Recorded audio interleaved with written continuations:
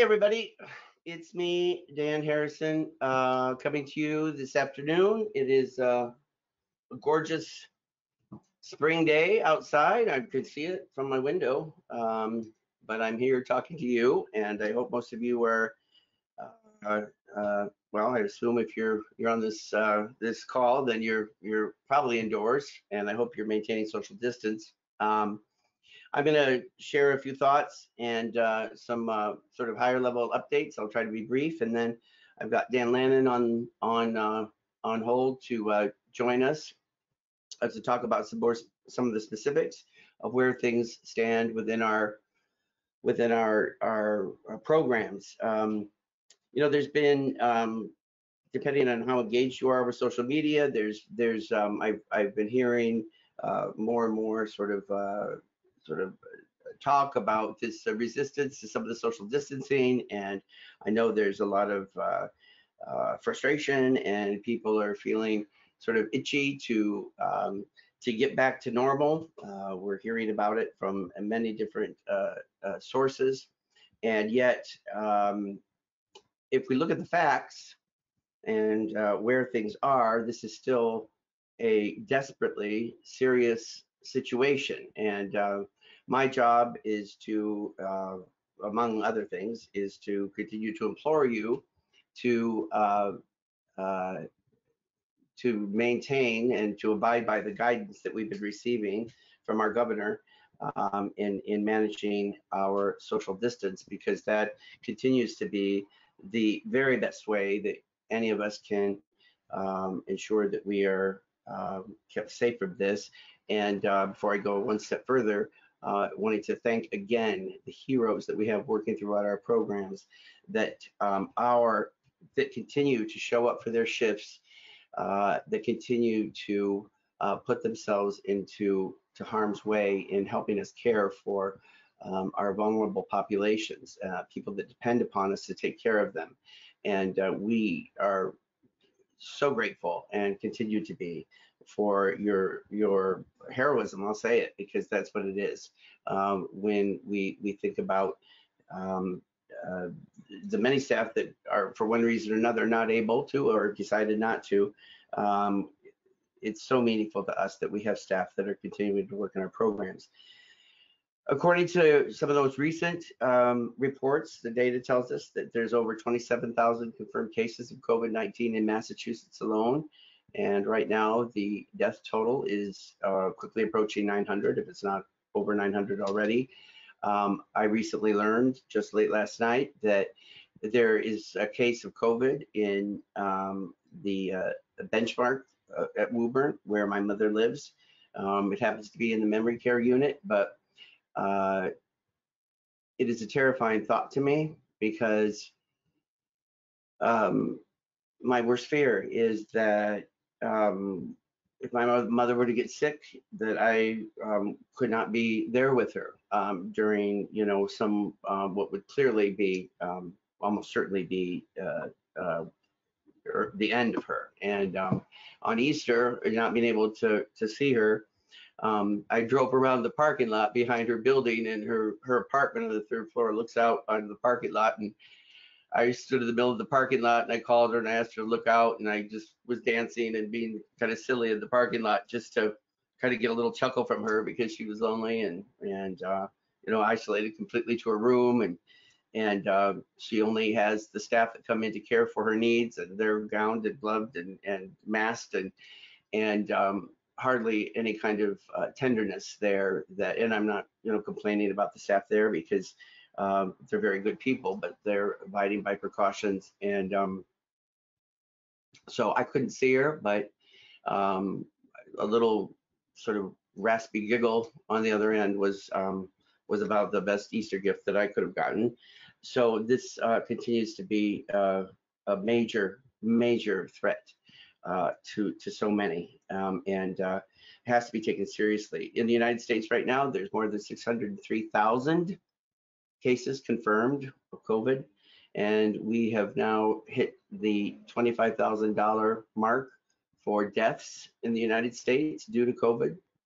Uh, just to put a little perspective to that, during the uh, 10 years of the Iraq and Afghan- Afghanistan wars, uh, there were something like 7,000 casualties.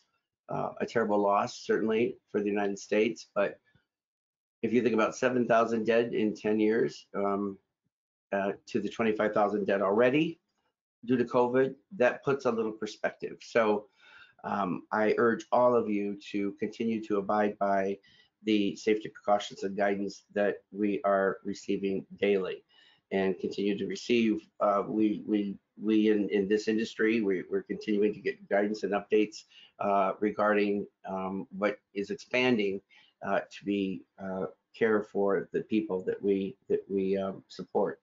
Um, Dr. Redfield, the CDC director, um, uh, in speaking about reopening our economy or reopening society or social life and, and work as we know it, uh, really emphasize that this is something that we're probably going to see eventually on a case by case, community by community, county by county uh, basis. Uh, we've heard in the news that uh, uh, certain governors are, are talking about regional kinds of responses to this. Um, and uh, and it's going to really continue to require early case identification. That's more and more testing. Dan may be talking about this a little little later, but one piece of good news that we heard is that uh, the Department of Developmental Services, in coordination with Fallon, is going to be doing mobile testing uh, for uh, residential congregate care uh, homes, group homes. Uh, right now, it's starting with any location that's had a positive COVID uh, test, and they will be testing all the staff there and other people living within the home. And once that is done, they're going to be expanding to all uh, group homes. So that right there is going to be a huge step forward for us. And it may take some uh, certainly days, if not weeks, to to coordinate that fully. Uh, but uh, that's really the direction that um, we're we're looking at this uh, moving. Um, whatever happens, and even as the weather improves and and beckons us, uh, when we do begin to return to some sort of a normal rhythm of life, um, I, believe, and from everything I've heard, heard that it's going to uh, demand massive, unimaginable kinds of changes to our our routines and, and expectations. Um, I, you know, some experts, you know, are predicting that there'll need to be uh, uh, massive testing uh, of everybody that's that's working or going into workplaces that's that's done, you know, potentially even every couple of weeks. Um, a whole, you know, huge digital surveillance of the population, uh, whether that's using uh, uh, technology to uh, measure and, and, and record uh, body temperatures uh, as they enter the workplace or into places of commerce, and um, and and looking at massive mass serology testing to see people that have have had COVID that have built up immun immunity to it that uh, possibly would be conscripted or, or um, uh, identified to work uh, in high risk uh, populations or high risk um, situations. So um, this is something that um, um, is going to be uh, around for quite a while, and it's our job to uh, respond in kind and to uh, be working constantly and continue to uh, adapt and and plan for a future that is going to look unlike the past that we've left behind. Uh, we, of course, are all hoping for an announcement of some vaccine, um, uh, or at the very least, some improved um, treatments to reduce the mortality rate. That's, uh, I, you know, from a selfish perspective, I, I'm hoping and praying that comes along before um, my mother gets it, but um, we all have reason to be concerned. Uh, an official at the World Health Organization recently said that this virus is going to stalk the human race for quite a long time, at least until we found a vaccine. And even though we've seen uh, enormous improvements in, and uh, you've heard me talk about technology and uh, this being the uh, fourth industrial revolution and, and, and, and, an era where uh, science and technology are going to bring about huge improvements to the human human race. Uh, apparently, the uh, the testing of, of potential vaccine is what um, the, there's no way to replace just the human body's response to various vaccines and whether it's effective, uh, to measure the side effects, to know whether this is something that can be deployed uh, in mass scale. So this is uh, this is something that could be still, you know, 18 months or, or longer away. And so I say all of this to you in the first uh, few minutes of, of this broadcast to remind everybody that um, that we are still uh, in the in in the heart and the in in the depths of of this challenge of this crisis. And um, I want everybody uh, that is connected to this great organization to uh, emerge on the other side with us. And um, it's my fundamental and, and primary desire that we all stay safe and that we're all abiding uh, to the to, to, to the best of our ability with the guidance that we've been receiving so that we stay safe and that we don't uh, inadvertently or unknowingly um, uh, continue the transmission of this. um, we began this uh, whole impossible journey uh, three and a half weeks ago or so, and uh, we've been, you know, going day to day, trying to make the best decisions that we can for this organization. Just quickly to remind people what our what our our journey's been. Uh, my my first and and and um, immediate concern was that uh, we have some time to to uh, uh, uh wait for the state to provide, you know, um, in the federal government to provide mitigation to help us get through this.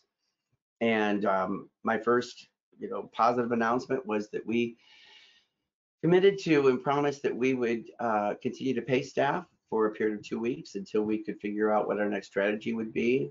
Last week, we brought uh, Karen Franklin in, I think it was Thursday, to talk about um, uh, some of the uh, uh, changes that were going to be made as far as paying people or, or, or, or whether or not we would be uh, looking at furloughing some staff. Uh, as we've learned, this is something that was not going to be over and solved in a matter of weeks. Um, we've been required to uh, really look at what some of the next steps would be. Uh, we uh, need to maintain the solvency of this organization because we are part of a, a safety net of, of, of, people that family uh, of services that families depend upon and that our our clients depend upon and and uh, so it's essential that we're able to to, to have a continuity of operations that we're able to uh, continue to you know pay the light bill and and, and our mortgages and that and that uh, we have the, the the staff that are trained to to work with people and that we're able to keep them on board. And so um, we asked staff uh, last week to uh, let people know if they were willing and able to uh, work in other shifts to fill our residential needs and we've had some people that have stepped forward for that, and I thank you. Um, I thank you very much for doing that. And for those of you who are, are unable or, or for some reason uh, for whom this is not an option, uh, we are going to begin to place staff um, into a, a, furlough situation. Um, and we will be uh, notifying you and, and um, letting you know over the course of this week if that includes you in this first round. Uh, it's it's absolutely not something that I ever thought I would be saying or making the decision to to have to do this. Um, but we believe that uh, furloughing people will be the very best option at this point, and we do uh, uh believe that uh, given some of the um, uh, mitigation from from the federal government, that it may be some temporary inconvenience, but that people will be um, uh, should be able to manage with some of the financial assistance that will be coming via unemployment and um, some other things. Uh, by furloughing people, we'll be able to keep people on their uh, health insurance if that's something that you receive through us. And I've instructed uh, the our HR department and Karen Franklin is is as we speak working with her team and uh, and and other staff to kind of coordinate how this will look as far as um, the employee contribution for the health insurance and so forth, um, providing any kind of resources and trying to ease the um, the process of application uh, for unemployment and so on. Uh, this first round will in, include a number of staff that um, that right now, for just practical reasons, don't have uh, uh, a functional role within the organization because of the fact that it's uh, they can't they can't do their jobs virtually, uh, whether that be transportation or or day service and, and uh, day have staff that have been displaced because of the closures of our, our programs. Guys, this is something that is, um, um, I've said it already, but I'll say it again. It's very, it's very difficult to imagine that we're, we're where we are right now. Um, and uh, I, I, I wish I always had good news for people, but I don't, I can't always do that. And one thing that I have sworn to do is that I, I will be honest with you and I'm going to tell you uh, the truth and what's what's happening uh, to the very best of my ability. And that's not to say that I'm not going to occasionally uh, uh, get something wrong or or or or um, have uh, some detail that um, that I that I fail to provide. It's it's it's um, uh, this is such a, a rapidly changing set of circumstances that um, we go from one week to the next, and and and things do change. Um, but uh, for the time being, we will be um, making uh, some conscious decisions about reducing uh, our workforce um, significantly um, over the course of the next uh, few weeks. And so this this next round is going to be uh, kind of the first round of people. It's all of these things are going to uh, require um, an, an, increased level of of, of staffing to, to, to, process administratively uh, to make sure that that uh, those staff that are being furloughed are are receiving the attention and and and the care and uh, the resources that they need to make this uh, as painless as possible and to ensure that um, that they're receiving the the financial uh, resource on the other end uh, you know through the federal unemployment and other and other factors um, and uh, and we want to make sure that we, we do this as in an organized way and that we don't leave people hanging um, uh, you know out there in in a, in a state of um, uncertainty for any period of time. Um, you can expect that as we go into uh, additional weeks as this thing stretches on that we may have to dig a little deeper. So if you're somebody that that wants to remain employed with this organization um, I, I urge you to, um, again, consider uh, uh, making yourself available to be redeployed in some capacity because we, we continue to need people who are willing to uh, to work in some different venues and um, and we have a certain number of staff that have um, uh, really um, stepped up in in our virtual arena. Uh, Ted Horn joined us on Friday, and uh, and I was so proud to hear the kinds of creative work that we're doing to support families, to to make ourselves available, and and and the staff that are are doing the morning meetings and and and the origami and the exercise programs and so on. These are all essential uh, uh, um, um, components of what our service provision and our service delivery is going to look like in as we move into the future. You know, the, people have said, and, and and and I and I believe this fully that uh, this, unlike any other thing that we've endured or experienced in a, in a, in, in the last hundred years, is going to change our cultural uh, experience in in ways that that we can't even begin to imagine right now.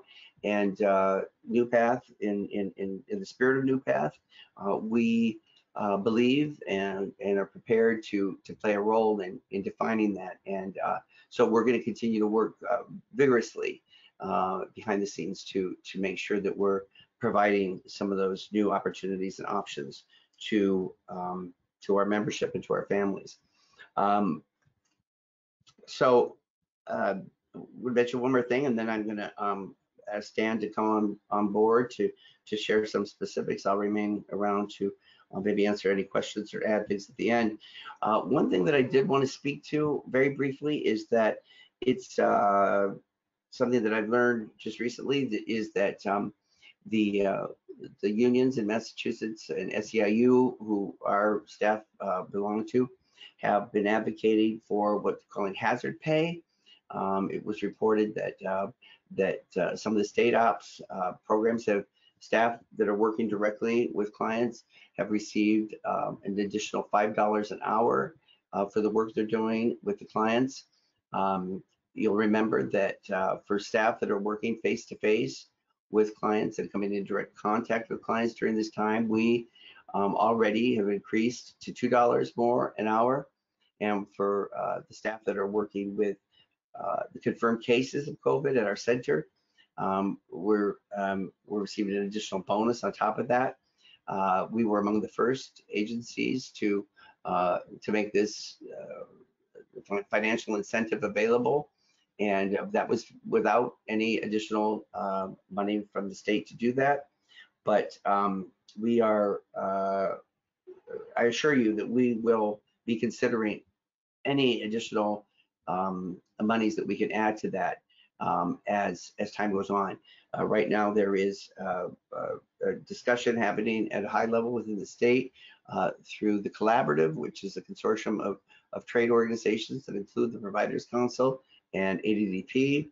And we're in our work with them. They they are are looking at possibly some additional monies that would be made available to providers so that we can increase the level uh, that we provide uh, to as hazard pay for people that are working in the programs. And um, I promise you, I, I, I, I, with everything that I, I can uh, put before you, that uh, the second that we can make more money available to staff that are that are heroically coming in and and working with our population each and every day, that uh, we will we will do whatever we can to um, uh, to to uh, to keep that at a level that is um, commensurate with with the risk that you're taking, or at the very least commensurate with the level that the state ops and uh, some of the state programs are are now able to pay or have been decided to pay uh, the staff that, that, are working in those programs. We understand that many of the staff that are working in our programs, uh, in some cases, are working in other organizations. Other agencies have chosen different ways to reimburse or to uh, to recognize uh, financial financially the risk that people are taking, and, and we intend to um, um, ensure that we're um, exceeding that, or or at the very least, least are consistent with with what um, other organizations are doing, um, and uh, that reflects our true commitment to the staff that are that are that are helping us get through this. I, I said uh, last week, I believe, and probably several times, probably a broken record, but uh, um, this is this is a defining moment uh, in our history together, and um, we will not forget uh, those of you who are stepping up um, and helping us through this. This is a time that goes beyond just a you know sort of an organizational commitment uh, or any sense of you know allegiance or or or, or loyalty to NuPath. I, I, I think this is a, a, a, time that defines our our humanity in some ways, and um, I, I, don't think it's too dramatic to say that that um, that those that are that are stepping up right now and and are are going the extra mile are are, are truly um, um people that are, are, that we will remember. Um, uh, you know, it's through the end of time really that that are helping us manage what can only be described as a as a as a as a, as a terrible and, and costly war um, that we're that we're experiencing now um, in our nation and, and, and, across the world. And just look at the numbers of deaths and some of the projections. I mean, if if um, um, you know we approach anywhere close to the level nationally that some people experts are telling us we could see, um, you know, 200,000 deaths. Um, uh, casualties of World War One were just about 116,000. Terrible loss of life um, but uh, that just puts it into some perspective. So if you're somebody that uh, is thinking that this is uh, close to being over and and you want to get outside and start to commingle with um, other citizens, I I would beg you to uh, reconsider that and to um, uh, continue your your your isolation and social distancing um, uh, as, as we move forward because you're doing your part in doing that. And, um, and again, thank you all so much for those who are uh, coming in and um, and helping us uh, in our response to this. So uh, that's kind of my high level right now. I may have a few more comments or remarks after Dan um, shares with us about what's happening in our in our agency. And um, and uh, Greg, if you want to bring Dan up, we'll um, let him uh, share that update, and uh, and then we'll um, and then we'll see where we are at that point. If he's uh, available, there he is. Hey, Hello. Dan. How are you? Good. How you doing? Good, good, good. I'm uh, changed locations this week, so I'm I'm uh, Yeah, it was um, kind of a little uh, threw me off there. Um, yeah. This was the former office, I guess. I hope it doesn't mean I'm no longer your guardian angel. That's the only thing that I I want to consider. So, uh, okay, Dan, I'll let you give us an update and see kind of where we are uh, organizationally, and and uh, and then I'll be here maybe at the end to, to close us off. Good, good. Thank you. Um, I guess I'll I'll update us. We haven't talked really, or I haven't done an update since last Tuesday, and so I'll let you know what's going on at the houses and and update you of those um, cases that we have where someone is positive. So as we wound down sort of what was our first group of people at the center last week, um, they the last one moved out on this last Saturday, where we were able to move him out um, back into his house after having been cleaned, and um, and so we were able to sort of get the center really deep deep cleaned on Saturday um, and on Sunday.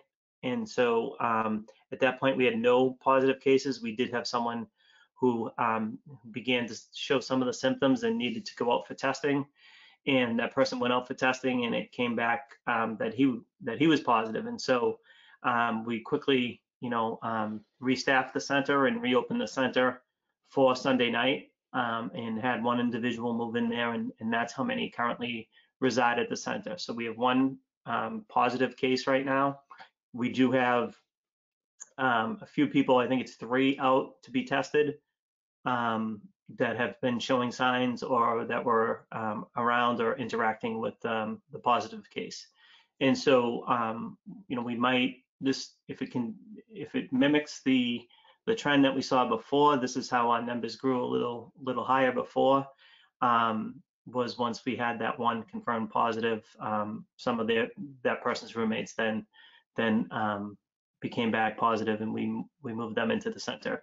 These are over two different houses. This isn't just one house um, that we're that we're dealing with. So the the people, the three people that are out being tested right now, do two of them are at one house, one at, at another, and so. Um, you know, Kelly Lawless today on the DDS um, call that we had, you know, used the word that in the region she felt like she was really seeing a surge right now, and and um, and talked about numbers increasing for the region as a whole. You know, we've sort of um, we've sort of done a good job managing and and getting people um, staff protected and the individuals protected and keeping them separated, and the center has helped with that. And so we're hoping that we can manage, you know, this um, steadily, or you know, the famous term flatten the curve for at least inside NuPath. I do think though, with her talking about the surge and and and what is happening with the increased numbers, that um, it is great that we get the mobile testing site available that that she spoke of today, and they've really loosened loosened restrictions around being able to get that tested for staff and for individuals who have worked at a current location with someone who has tested positive. Um, and so, as well as other houses where there isn't a suspected positive person right now, but but they just want to um, start doing um, some random testing in those houses to see if we can avoid the you know the exposure um, of individuals who aren't showing signs but may test positive and and try to help with some of the um, quarantining and and isolation periods and, and keep staff health and healthy and safety.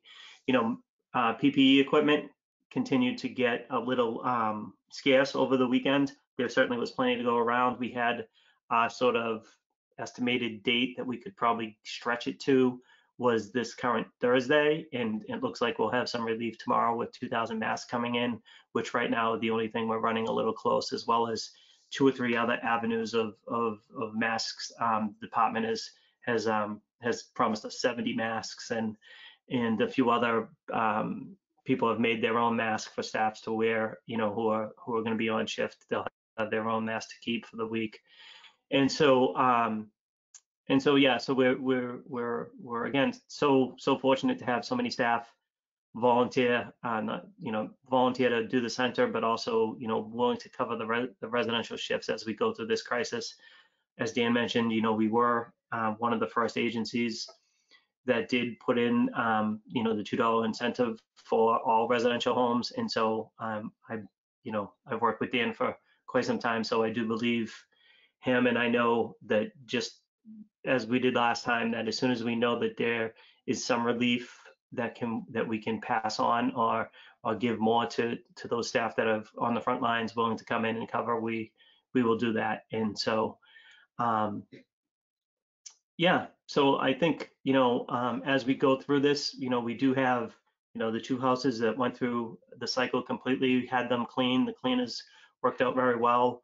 Um, I shared the price with you last week on that, and and from what we're hearing, that is the pretty standard pricing around. So um, th- that will be the cost for us to be able to to make sure that that um, all the areas are, are safely cleaned and and uh, people move back to a nice, clean, safe environment. So um, that's about it, um, Greg, for me for updates.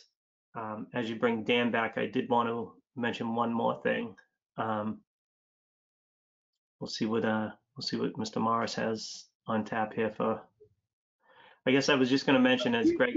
The only question, Dan, and you, you kind of addressed it, is do the staff in the group homes have masks to wear? Yes. Yes. Yeah. Um, I guess, you know, just one last thing I want to add. I know you talked a lot, Dan, about the furloughing and about, um, you know, staff stepping up and, and staff that, that can do um, shifts and everything. And I know, having talked with you extensively since Thursday and, and many others on the team, Karen and, and others, I know what a difficult decision that, that was for you and, and how hard, um, you know, you worked to bring staff together. So I, um, I know that, you know, we're just, again, I think people believe you when they say, you know, I guess I'm speaking, maybe I'm a little biased, but, you know, I do believe people believe you when, you know, um, they know you have their, their best well-being in, in mind. And so, um, thank you for sharing that information with us. Yeah, um, thank you, Dan. Thank you for your update. Um, you know, one of my one of our my most important objectives here is that even with uh, staff, uh, some staff being placed on furlough, that you are still a part of this family. Um, it's it's critical to me that people, uh, no matter who you are or, or or what part of the organization that you're working in, you are not less than. Um, this isn't, um, you know, a, a decision that we we feel that you're expendable, uh, that that you're you're not you're not important or or relevant uh, to us and our continued um, identity together because we we are we are this brilliant sum of our parts that that that come together that has made this um, this experience uh, for me leading this great organization so special. Uh, so by no means is this um, any kind of a, a statement or a, or or a, a, you know a, values decision about you know who who do we think we don't need. It, this is strictly an an economic sort of formula that that we are trying to um, uh, ascribe here uh, if that makes sense. And and and with some of the um, provisions that that were made available to organizations and uh, more importantly to staff that find themselves in situations where they may be unemployed. Uh, these some of these provisions make it so that uh, that uh, employees will be able to uh, survive uh, at, at, at, well beyond the you know the standard unemployment rates that would would normally or or typically be awarded to staff that that would apply for unemployment. Now, there's uh, as as Karen talked about last week, there may be some delays uh, in in um, the processing of, of the unemployment claims that are coming in to um, the Department of Labor, and, and we, we, we know that this is something that could cause some hardship. Uh, Staff that uh, will be furloughed and will begin this application process. I uh, urge you to um, uh, follow through with, with whatever you, instructions you hear from the Human Resources Department. Uh, Karen and her team have uh, gone to extraordinary lengths to uh, try to uh, distill is necessary into some easy to follow uh, steps. And um, uh, as you wait for your unemployment checks to kick in, um, in theory, you'll you'll be receiving your your check uh, for work done, you know, over this past pay period that's that's concluded, um, you know, within two weeks, and then hopefully within another two weeks when you would be expected your pay, typically from NuPath. By then, your unemployment check should kick in. If for some reason that doesn't happen, um, you know, again, reach out and talk to somebody because I I couldn't I couldn't stand it if I thought that somebody was was really had found themselves into some um, some some real financial hardship. You know, we're dealing with difficult things, and as this thing hits more and more people, um, uh, the last thing that anybody needs to be worried about if they're if they're dealing with the, the loss of a loved one or or the fear of of, of uh, supporting a, family, I, I, just don't want it to, you know, the, the financial worries to be among them. And I know that this is a, a deeply distressing and concerning time for people. I, I hear it, I understand it, and I will do everything in my power to to try to find a way to make this work. What I'm trying to do right now is to make sure that that NuPath remains uh, solvent and that we are here on the other side, and that whenever that glorious day happens, that we'll um, have open arms to welcome everybody back together. So uh, I, I, I will, we're going to do this together because we do, we do got this, uh, no matter how challenging the time it may be for us. So, um, Greg, I don't know if there are any questions um, uh, Nope. that have not been answered. Uh, Everything's been answered, Dan. I'm sorry. No questions. Everything has been answered. Everything has been answered. All right. So it doesn't mean if you think of a question afterwards, feel free. Some people are emailing me directly. That's fine. I I apologize if I don't get back to everybody. There's been a lot going on. Um, and we will um, do um, another uh, forum on Thursday. We may have some more specific details for staff that are, are wondering whether or not they are going to find themselves into uh, one of this uh, first wave of furloughs that we are uh, preparing to um, to uh, implement.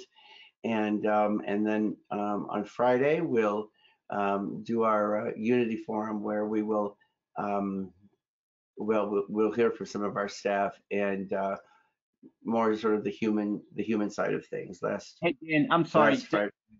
I'm sorry. Before you wrap up, uh, just a couple of questions came in about the holiday in in uh, what we're doing uh, about uh, Patriots Day on Monday and, and rescheduling. Or, Right. So we have made the decision that we are going to um, postpone this holiday. Um, uh, uh, there is uh, so many other things right now that are going on from a compensation perspective, and and um, what uh, what we talked about this morning was uh, potentially putting that holiday off until. My dream would be that we could give uh, the day before Thanksgiving and the day after, which is typically what we use the Veterans Day holiday for, the day after Thanksgiving. And um, and I'm hoping that by Thanksgiving we'll have a time to, it'll be a time to make it a collective and memorable um, time of, of, of gratitude and Thanksgiving that we will have gotten through the worst of this by then, and that this will be a time when families will begin to come together again, and and uh, that the holiday will be uh, more uh, appreciated and uh, useful at that time. So that's the decision that we've made, and that's that's how we will be uh, uh, uh, you know, managing that uh, as we go forward into next week. Is that it? Great. Yes. Okay. Hey, to your families out there, what can I say? Um, thanks for your patience. Um, thanks for your cooperation. Thanks for the things you do, the hundreds of things I'll probably never even know about that you are doing to support our wonderful staff on the front lines that are there every day. Um, we only wish to be the best that we can be during this time of crisis and um, sometimes I've said it before, we're not always going to get things right, but uh, we mean the best and and we're going to continue to work for you as hard as we can in support of the clients that are out there and um, and supporting our staff as we do it because you've heard me say this before, but our staff are our most important resource as we as we continue to pursue our mission, even even during these dark times. Uh, that uh, uh, uh, we wish to make life's journey happier, healthier, more fulfilling for people with disabilities. So with that, I sign off and we we got this. We got this. We'll do this together. Thanks, guys.